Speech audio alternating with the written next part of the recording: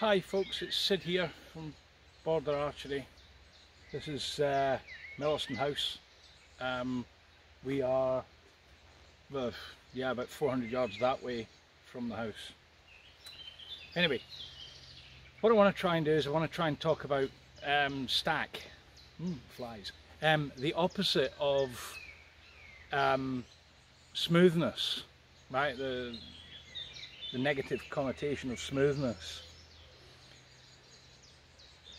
Um, first off, um, how what is stack? Stack is where the bow starts to feel tough to pull. That can be because you're overbowed.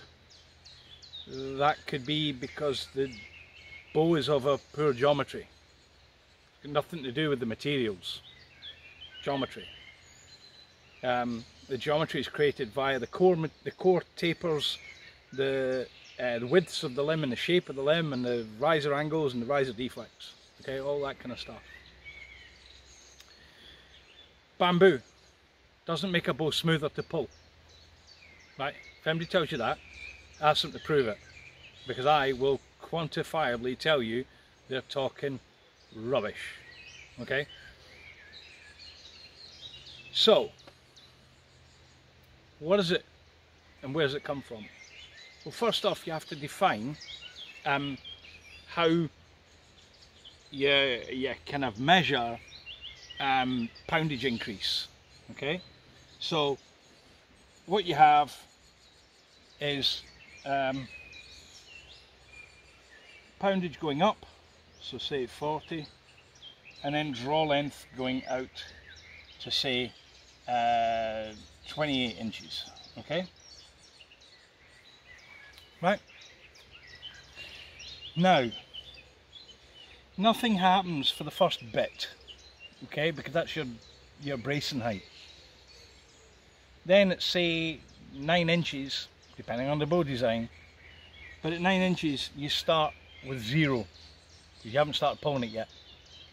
And at 10 inches you might end up with say 5 pounds, so you end up with a dot in the map. Yeah, it's coming a bit closer, right? So then the five pounds might gain by another four pounds, so you've now got nine. And you can start drawing dots up the graph. And what will happen is you'll end up with preload going in and you'll end up with a draw something like that. Okay, that's conventional for a bow. Okay, that's very normal, right? So, up to about that point there, where it bulges outwards, okay, where it's convex, that part's called preload. And then where it goes concave, that part's kind of called stack. Now, here we go for all the stick in the muds, I think we'll call them.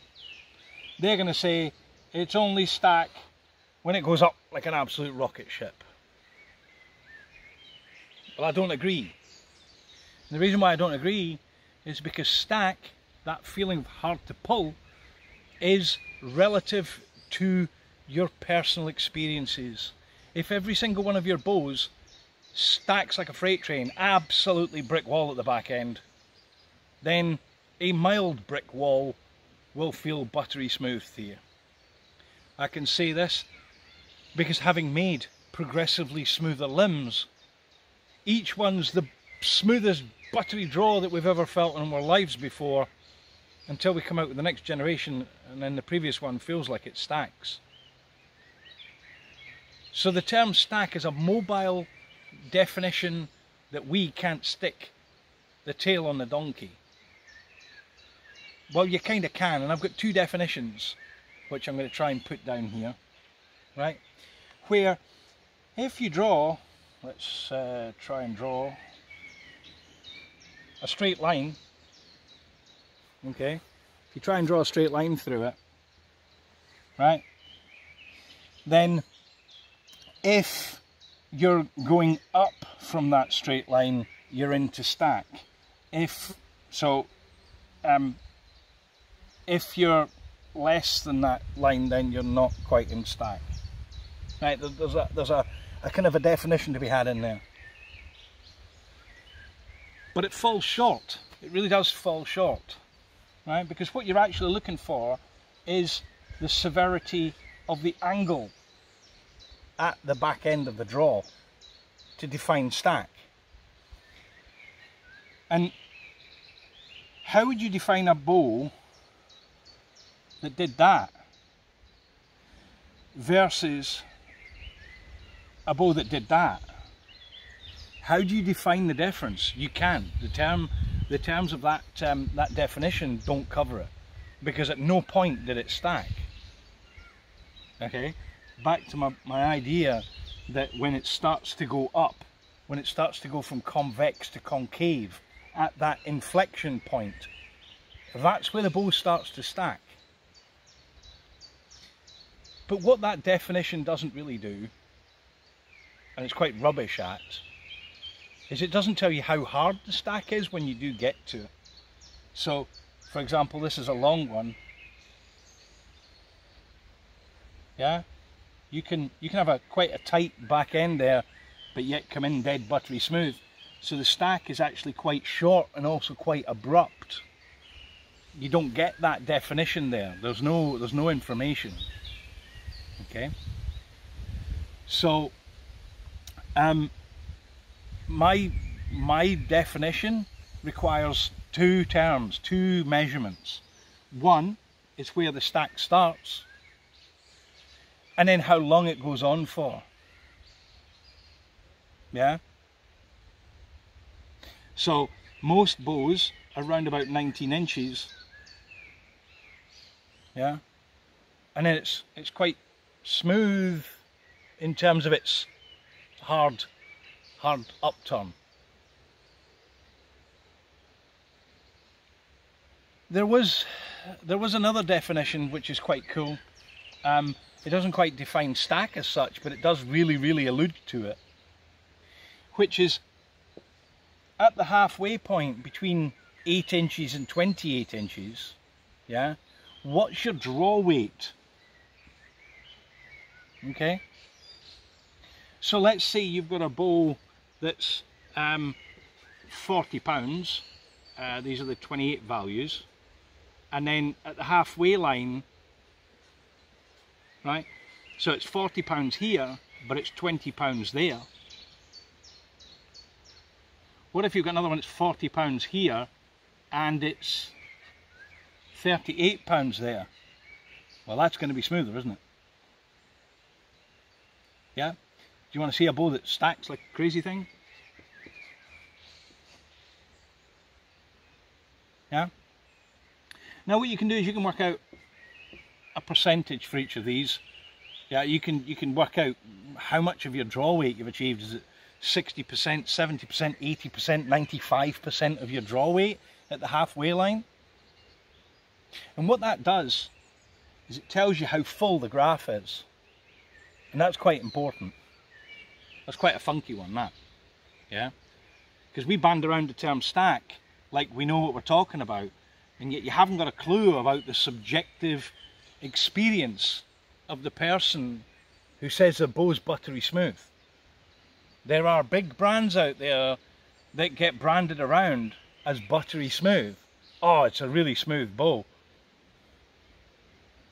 They're average at best.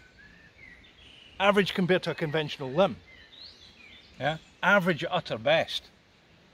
And yet, yet what would you do if you actually came across a smooth bow if you'd said the average was smooth? Yeah? So, there you go. Now what we're we talking about here? We're talking about um, between conventional limbs, a growth in that last inch, the, the definition of that angle of 2.05 to 2.15 pounds of growth. That poundage of growth is uh, it's negligible difference between the two, yeah. And then you get some people saying that they prefer the more stacky limb, right? And they prefer it because they're hitting a wall If you actually talk to any competent archer, they're probably talking about like an eighth of an inch or a sixteenth of an inch of, of, of expansion to get the, the arrow through the clicker. Yeah?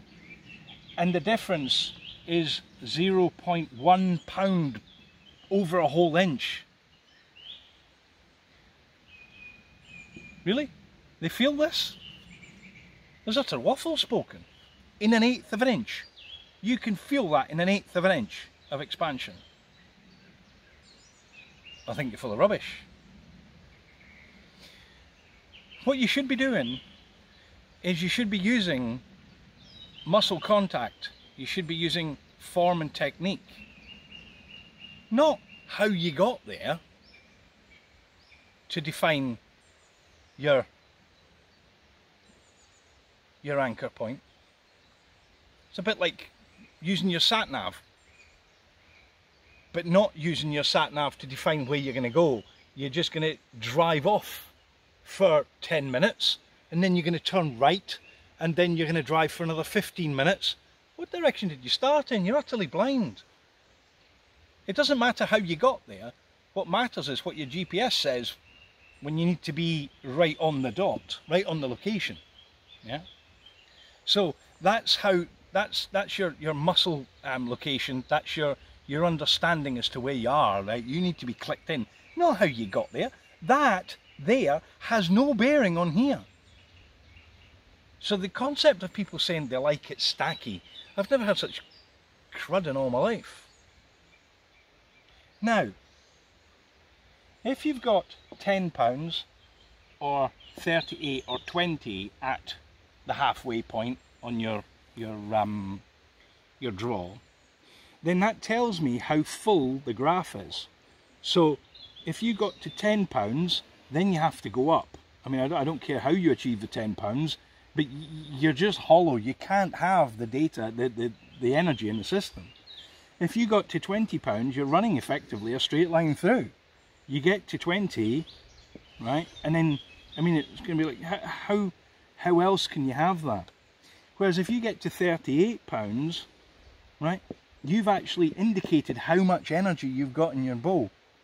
And that's where smoothness wins every time. Smoothness is a serious, or stack, the lack of, is a serious indicator as to how much energy is in the bow.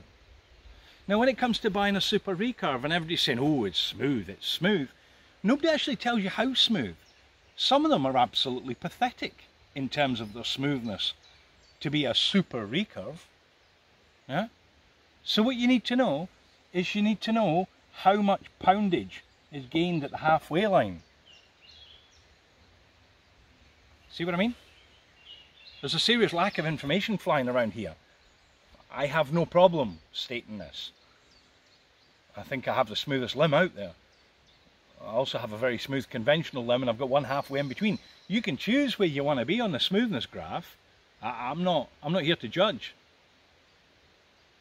Yeah? But I think people need to start quantifying the differences because there's a serious lack of information going around and there's a serious um, bias towards um, the latest bow somebody's bought being very, very smooth. Very, very smooth compared to what? A concrete wall? See what I mean? There's no, there's no indication there. So, hitting a wall, saying that you like it because it defines your anchor, rubbish, mate. Rubbish. Absolute rubbish. I've never heard such rubbish in all my life. Yeah, I, I, I lose respect for people who say that. If you want to try and quantify the smoothness, then you're going to be an informed, educated individual. And that has to be a better place for choosing your next bow. I'm not here to tell you how smooth you want your bow.